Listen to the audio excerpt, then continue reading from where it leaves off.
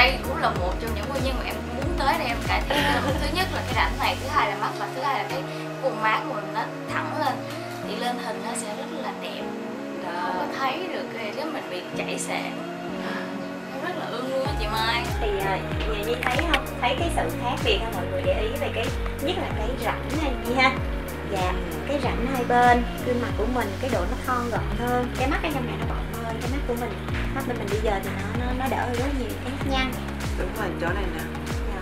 Hay quá ha ghê quá à chị. Ám ảnh em luôn em nhìn em còn ám ảnh dạ da mình thì nó căng hơn đó chị. Chị có để ý là cái da đúng rồi hơn. chị căng hơn nè.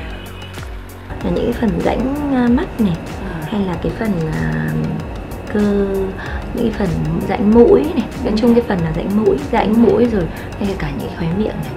Đó là mình không mình đánh phấn nhiều nó sẽ tạo thành nếp nhăn nó nó nó có cái rãnh. Thì khi mà làm cái công nghệ này nó không đơn thuần là làm cho cái cái cái cái cái, cái gương mặt mình nó gọn lại mà tất cả những cái phần rãnh đấy nó đều được căng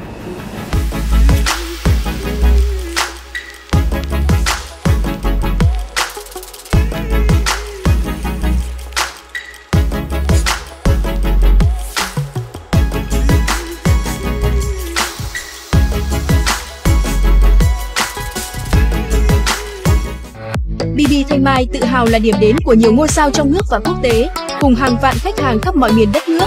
đến với BB Thanh Mai.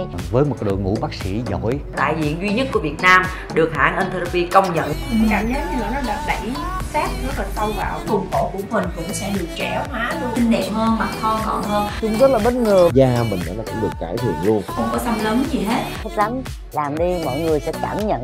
Thích lắm luôn á. Ưu đãi sốc giảm 70%. Để lại số điện thoại đăng ký hotline 1800 6617 BB Beauty, BB Thanh Mai.